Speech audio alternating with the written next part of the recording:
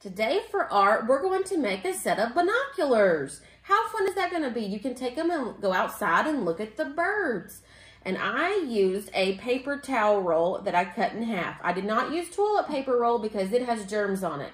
So I took a, a paper towel roll and cut it in half and I have my string and my hole punch and a stapler and some markers. And the first thing you're gonna do is take your marker or your crayon or whatever you wanna do and decorate your binoculars however you feel like you want to decorate them.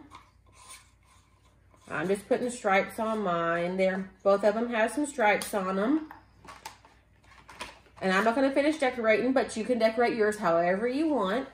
And then I'm going to take a stapler, or you can use tape, or you can use a glue, however you want to attach them.